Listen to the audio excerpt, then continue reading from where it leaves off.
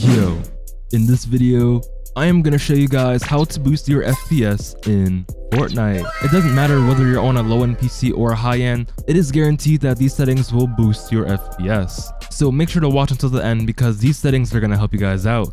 So I'm not to waste any more of your time, so let's get right into the video. So for any console players who is watching the video, make sure you have motion blur turned off. For this next step, we're to be turning off hardware acceleration. So if you're on PC, I'm assuming, and you have Discord open while you're playing, you need to go into your settings, go to advanced, and uncheck hardware acceleration. You can do the same thing for Spotify and your browser. Now going into Spotify, go into your settings, then scroll all the way to the bottom, and make sure enable hardware acceleration is turned off. And now in your browser, whether it is Chrome or Microsoft Edge, it does not matter. You need to go into your settings. The easiest way to do this is to just type in hardware and it should pop up. So make sure you use hardware acceleration when available is turned off. Turning off all of these hardware acceleration settings will improve your game's performance and will give you more FPS. So for this next step, you need to be on your desktop. What you want to do is press the Windows key and R. Doing this will open up run. Then you want to type in percent %temp percent, then press OK. Doing this will open up your files and you should see a bunch of unnecessary files. These files are just sitting in your cache and taking up extra space. I would scroll through all of them just to make sure there is no familiar files that you need. So once you're done looking, you can press Ctrl and A and then right click and delete the files. There should be no files on here that you need, which is why you should double check just in case.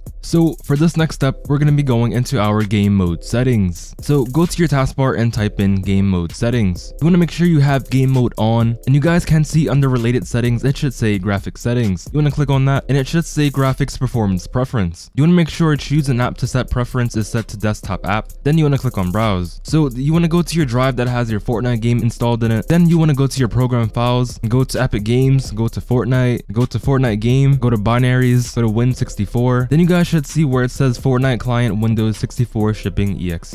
If for some reason you don't see it just like me, you can select the Fortnite file that does have the largest size. Then you want to click on it and go to options and make sure it is set to high performance. You can do this for any other game that you're playing if you do need a better performance. And you guys can see where it says hardware accelerated GPU scheduling. This is going to be preference if you do want to keep this on or off. It does say that it will reduce latency and improve your performance. So you guys can just test this out yourself to see if you do want to have this setting on. So you guys need to go into your NVIDIA control panel for this next step. You guys can just copy all of these settings, but the most important settings that you need to have on is low latency mode and power management mode. So for low latency mode, you can have this set to on, but if you are on a newer graphics card, then I would recommend setting this to ultra. Having low latency mode set to on or ultra is going to improve your delay, and having power management mode set to prefer maximum performance is going to make your PC use more of its power. And by your PC doing that, you are going to have more FPS inside of your game. So your PC is going to use more of its power so it can get more FPS in game. So those are the two most important settings I would recommend you guys having on, but other than that, you guys can just copy all of these settings. These settings are all completely optimized to boost your FPS and to reduce your delay.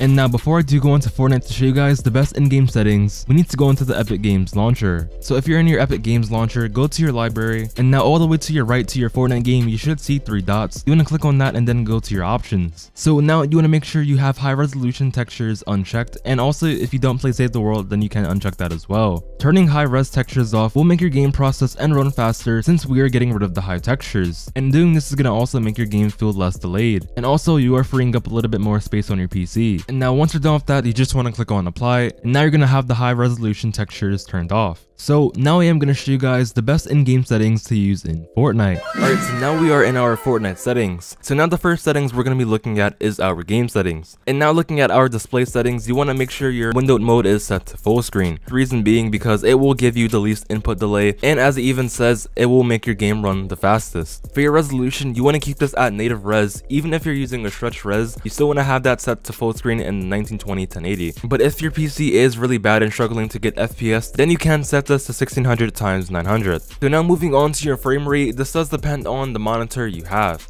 So I have a 240Hz monitor, so I will be using 240 FPS. There is no reason why anyone should be using 360 FPS because there is no way in endgame you're going to be getting that. So if you do have a 144Hz monitor, you can keep that at 144. But if you do have a decent PC and you are using performance mode, you can set that to 160. But if you are struggling to get FPS, then you should keep that at 144. Moving on to the graphics quality, this next step is going to be optional, but lowering your 3D resolution can slightly increase your FPS. I would recommend not going any lower than 80%. Going lower than 80% is obviously going to make your game look terrible, but just slightly lowering your res will give you a little FPS boost. And now moving on to your graphics quality, you just want to turn all of these settings to low, and also you do want to be using low meshes. Going into our advanced graphics settings, make sure your VSync is turned off, and turn on show FPS just to see what your FPS is. And now I'm assuming you guys know what I'm using already, and now the most important setting you do want to have turned on is performance mode.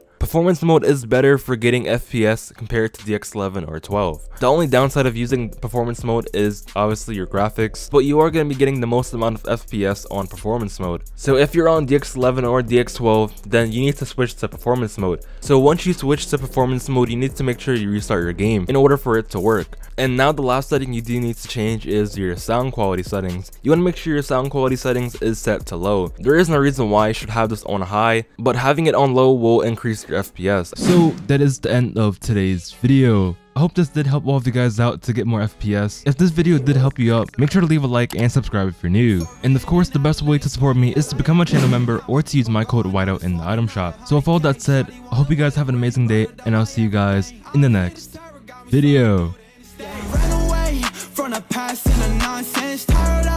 Toxic ends, not